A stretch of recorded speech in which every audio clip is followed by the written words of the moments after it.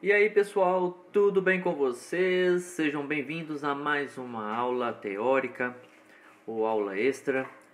Eu sou o Júnior Pego e vamos para mais uma aula. Esta aula de hoje eu quero falar com vocês a respeito um pouco de tecnologia, o que nós temos é, para utilizar em questão de aplicativos ou até mesmo sites, aplicativos ok? Para você usar no seu celular, no seu tablet ou no seu computador para auxiliar os seus estudos, ok? Então vamos lá. Primeira coisa que eu quero falar com vocês é o melhor é, aplicativo que você vai baixar no seu celular ou que você vai instalar no seu computador ou até mesmo pode ser um aparelho físico, tá? Que também é, é bem encontrado, é, encontrado também para comprar ele um aparelhozinho físico também, ok? Lembrando que na loja Dynamos você pode comprar, pode encomendar o seu, tá bom? Só falar com a gente. Aproveitando o gancho, fazendo uma propaganda. Vamos lá. Então, o melhor amigo do músico é, e é o melhor, o melhor aplicativo que você vai baixar hoje no seu, no seu celular ou no seu computador é o metrônomo. Metrônomo. O metrônomo é um aplicativo, ok? Que a gente mede uh, o tempo, ok? No tempo que você vai executar as notas ou as harmonias, a música em si, ok? Ele tem uma três letras que é o BPM. Esse BPM quer dizer, quem sabe aí? Acertou ou errou? Ele é o BPM é a batidas por minuto, ok? Se você, por exemplo, vou colocar uma imagem aqui para você de um metrônomo. Antigamente nós tínhamos um metrônomo analógico, né? Esse modelo aí que vocês estão vendo aí. É, por sinal bem, bem legal, bem interessante, né? Hoje em dia já não se usa muito o analógico mais. Se usa também, mas hoje em dia tem o digital, que é esse outro modelo que eu vou mostrar para vocês. Ok, tá vendo? Existem alguns modelos que já vem junto no, no metrônomo. Ele é afinador e ele é metrônomo. Você, muda, você vai no módulo, muda o módulo dele de metrônomo para afinador. Né? Esse é o aparelho físico. Mas como é, as coisas vão inovando, muita coisa vai mudando, a gente vai utilizar o metrônomo para o celular. Então nós vamos colocar um aplicativo, aplicativo metrônomo. Então, o aplicativo é este modelo aqui. Olha só, tem vários. Se você colocar aí na lojinha aí do celular aí, é, no Play Store, é, no em qualquer loja do, do, do para baixar os aplicativos, você vai ver que tem vários e vários. Mas eu quero indicar um aqui para vocês que é muito legal. Eu sempre indico este daqui para os meus alunos. Tá bom? Vou colocar para vocês aí na tela, que é o aplicativo Metrônomo Tempo Light. Você vai encontrar nele tanto pro pro iOS, né, para os iPhones, tanto também para o pro Android. É o Metrônomo Tempo Light. Esse aplicativo aí, ó, olha só, ele é bem fácil de usar e ele é bem completinho, ele tem bastante funções para você usar. Olha só, Vou colocar ele aí na tela, como se estivesse na tela do celular. Então vou, vou explicar algumas coisas aqui para vocês. Essas luzinhas aí verdes, é as luzinhas que vai indicar é, o tempo, né? Elas, o interessante da luzinha é o que? Por exemplo, se você está num local onde, não pode, é, onde você não quer que saia o som do metrônomo, você pode colocar ele no mudo, né? Apertando lá no alto-falante lá em cima, apertar o mudo, vai continuar tocando, porém só mostrando esse essas luzinhas aí, ó, tá vendo? São esses letreiros aí. Vai mostrando cada uma delas e aí você toca junto olhando as luzes. É uma opção. Mas se você colocar o som, você vai escutar o bip, né? Que é o bip do, do metrônomo aí. Ok? Então veja bem. Primeira coisa são essas luzes que eu falei para vocês. Tem o volume, você pode alterar. E mais embaixo nós temos esse número maior aí, que está mostrando para vocês aí, esse número aí, por exemplo, de 225 nessa imagem que eu, que eu peguei aqui para vocês. Esse 225 quer dizer que é o, é o BPM, é a velocidade que está o, o bip, né? É a velocidade que ele vai tocar. Então, eh, você pode colocar tanto para mais ou para menos. Sugiro que você comece a utilizar ele no 60. Por que 60? Quando a gente coloca o metrônomo no 60, 60 BPM, ele fica igual ao segundo do relógio.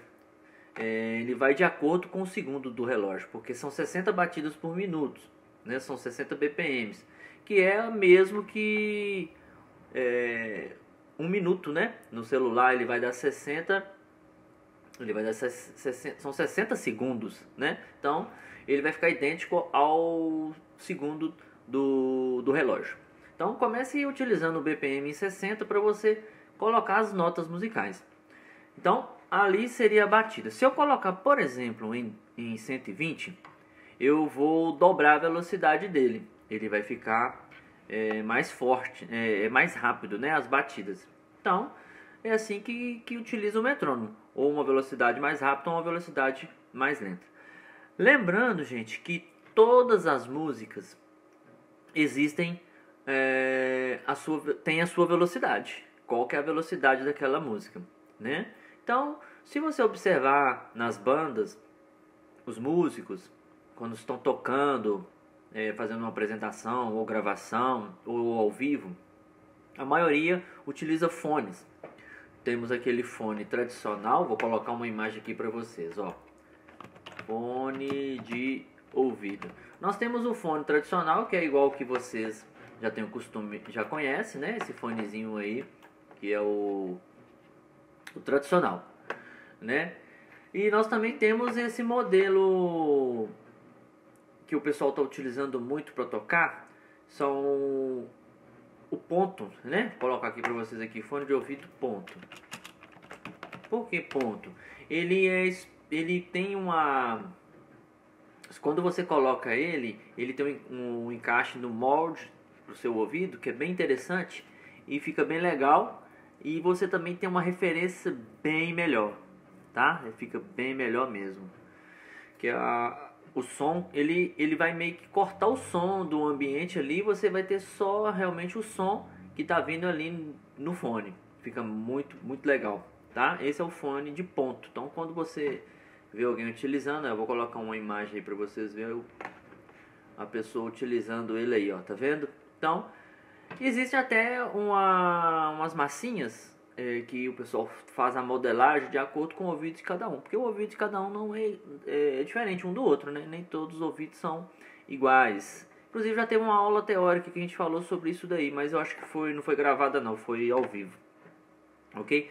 você pode moldar de acordo com o seu ouvido, porque tem gente que não gosta de usar esse tipo de fone do, de ponto.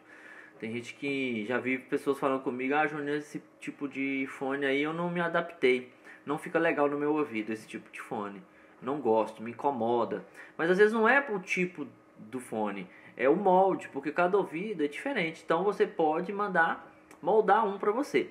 Aí tem que pesquisar qual empresa que vai fazer isso, né? Que ele você pode moldar só aquela aquela a carcaça do fone, né? A borracha em si e adaptar no, no, no seu no seu fone aí, né? Ou então já comprar um fone já moldado de acordo com o seu ouvido completo, né? Ó, um fone bom é caro, tá, gente? O investimento é caro. Você pode até encontrar aí é, na média de 100 reais, né, são os intermediários, digamos assim, esses de ponto. Né? Menos que isso eu não aconselho não, tá? Se tiver interesse, pode procurar a gente, que a gente também trabalha com encomenda de fones, tá? Hoje a gente está trabalhando hoje com uma empresa que vende fones, bem legal. Depois a gente fala mais sobre isso daí para vocês, ok? Mas, enfim, voltando lá é, no metrônomo, nós temos então a velocidade, ok? Que é o mais e o menos ali do BPM, que é a velocidade. Nós temos também é, a figura musical, que tem um desenho ali de uma figura, tá vendo? Onde você vai mudar para qual figura que você quer, qual figura que vai estar tá tocando a, o seu metrônomo. A princípio a gente vai sempre utilizar essa, essa daí mesmo, que é uma uma semínima, que ela é uma batida por tempo. Então, melhor começar por ela, tá, tá bom? Nós temos embaixo ali o botão de stop ou play, né, para vocês colocarem o metrônomo para tocar, beleza? Dependendo da velocidade que você colocar, ele vai ele vai escrever qual que é o, é o tipo de velocidade ali, né, da, do seu do que o metrônomo está trabalhando. Logo abaixo nós temos o compasso. O compasso, que tipo de compasso que, que você quer usar? Ali nós temos um 4x4. A maioria das músicas, nós já falamos nas aulas teóricas. Então, pessoal, é, voltando aqui, esse o tipo de compasso igual está o primeiro aqui 4x4, você pode alterar. Nós já tivemos aulas falando sobre o compasso, 3x4, 2x4, 4x4, ok? Então, do lado esquerdo é o compasso, do lado direito é a figura, vocês vão manter ela em, em semínima mesmo, que é o melhor, tá bom? Então, o primeiro aplicativo que eu gostaria de, de deixar para vocês, para baixarem no celular ou no tablet, é o metrônomo melhor amigo do músico. Ah, mas eu faço aula de canto. Eu preciso de metrônomo? Precisa. Ah, eu faço aula de cavaquinho. Preciso de metrônomo? Precisa. Eu faço aula de bateria. Preciso de metrônomo? Mais ainda, precisa. Então, o metrônomo serve para todos, todos os estudantes de música. Tá bom, pessoal?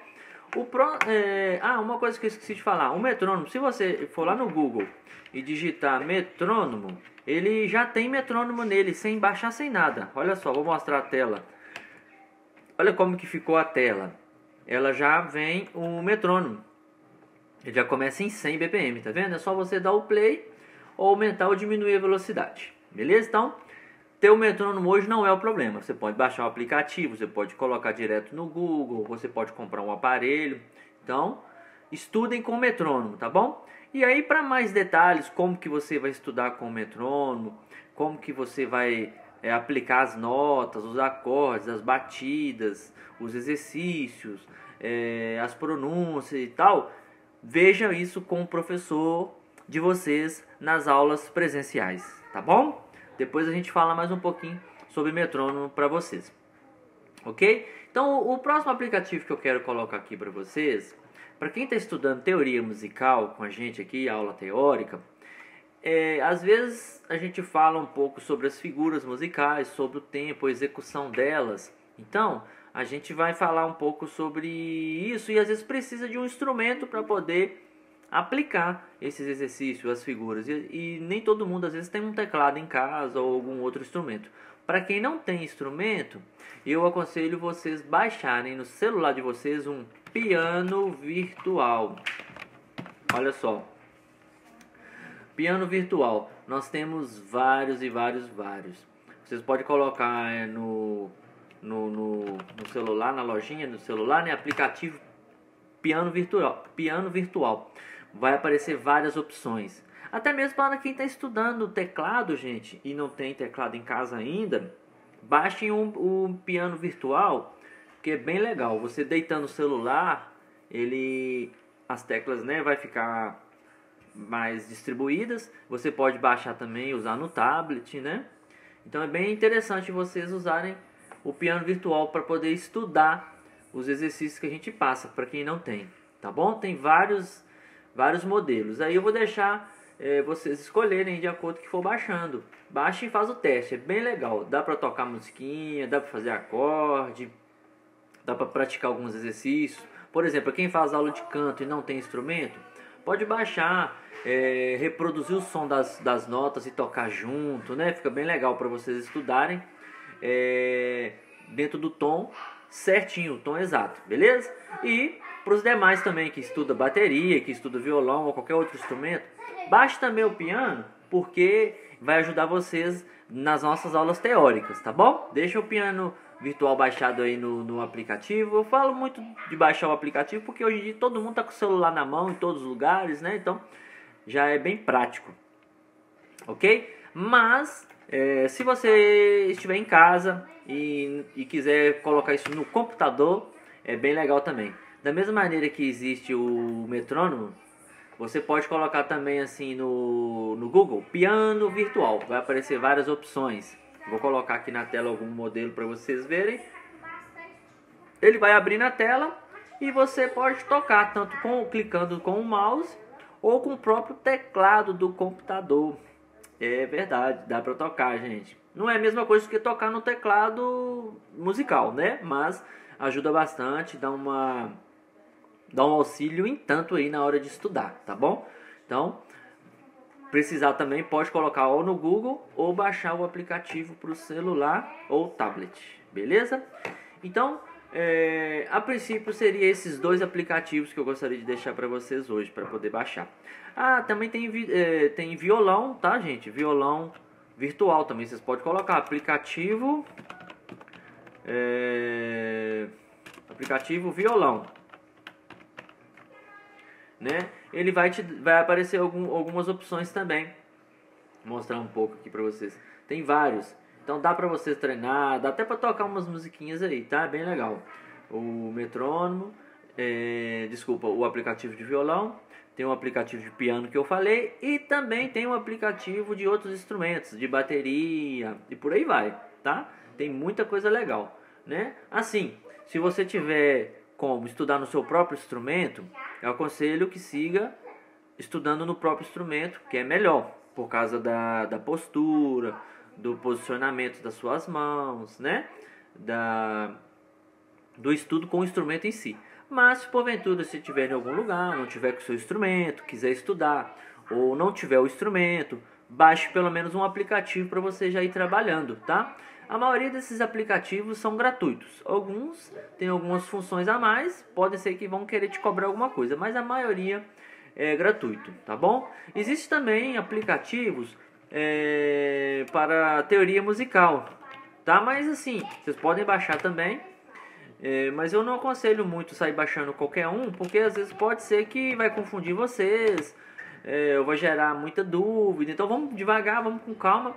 Assim que vocês já estiverem lendo as suas primeiras partituras, que a gente vai logo logo já começar a tocar nossas primeiras músicas na partitura.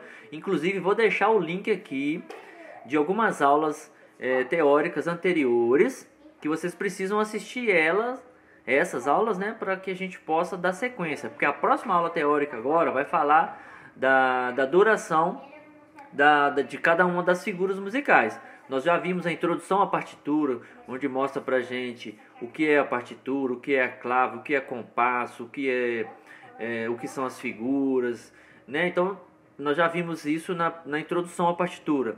Depois nós tivemos também, é, deixa eu só puxar aqui minhas aulas aqui que eu já falo para vocês com mais propriedade. Que veio um momento, gente.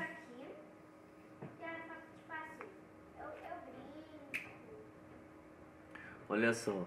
Então nós tivemos.